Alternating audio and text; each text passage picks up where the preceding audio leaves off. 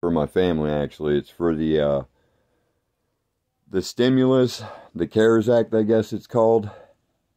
I've been trying to get this done for months. I contacted my representative, Bruce Westerman, and he put me in touch with you all to get this done. He said I need a 1040 married filing jointly form.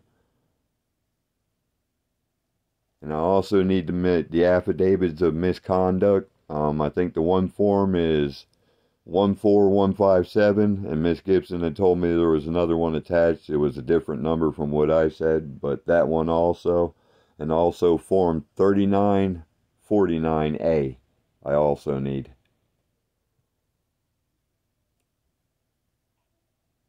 Thank you for taking the time to clarify that. Um, oh, with government, you either clarify it or you're going to get banged right to your face, so I'm already aware. That's why I'm American national not just an American citizen.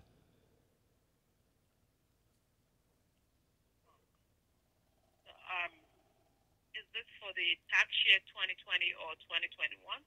Uh, which one is it where the stimulus was paid out at the beginning of last year in July to December and then you file your taxes to get the rest of it? Because for three of my children, even though I got non-filers direct deposit in my Social Security disability account for my federal bank, it was never paid for any three children.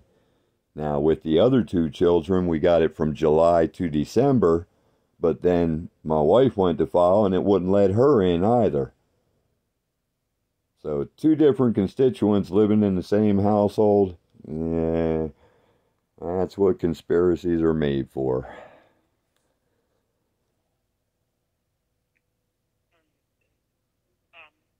So, right now you're trying to get the form 14157 3949A uh, form 1040. Is that correct?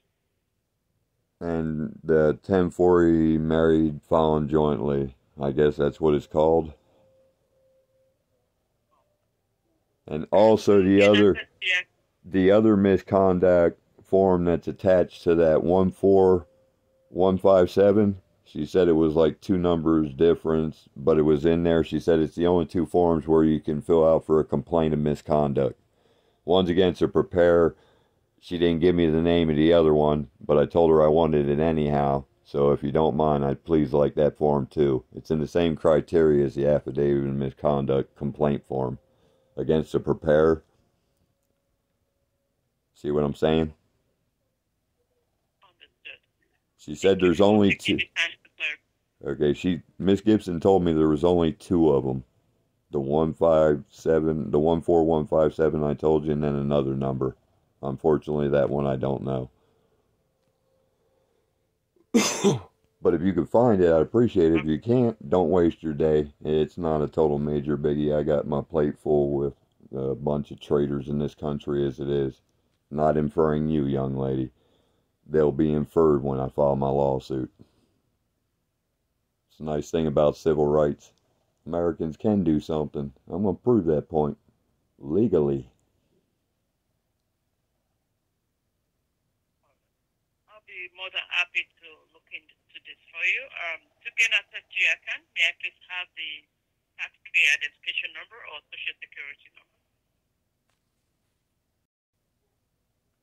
One second while I pull it up.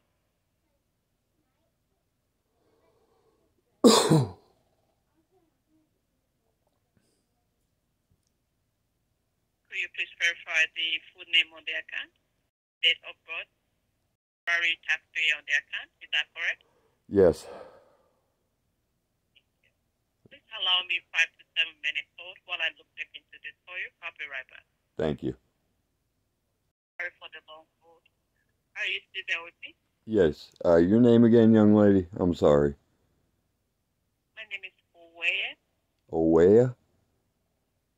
Miss Owea, yes. Miss Owea. Um, just, yes, allow me more time. I'm still looking into this for you.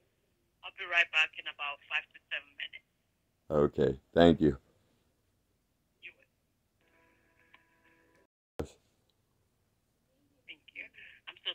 the long hold. So I tried to uh, order the form 14157 and form 3949-A for you, but um, it looks like you can only get that online through irs.gov. When you get there, you type in uh, the form number and click on download. Okay, but I was able to place the order for the form 1040. You should receive that in the mail uh, in five, I'm sorry, seven to ten calendar days. Seven to ten calendar days. Okay, awesome. That includes weekend calendar days. Duh. Sorry. Thank you, young lady. And you have a good day. You asked what? Is there anything else I can do for you before you go? No, that was perfect. I appreciate your time. And thank you for calling IRS. Enjoy the rest of your day. Oh, could you do me one favor though? Actually, could you uh, repeat back the name and address for me? You're mailing it to. It's the same address that we have on file for Okay, you. and that's the uh, ten ten six.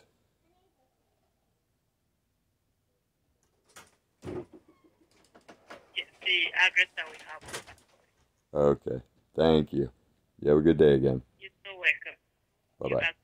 well. Bye-bye. Okay, so with that, folks, we're going to do a little theory test here. Um,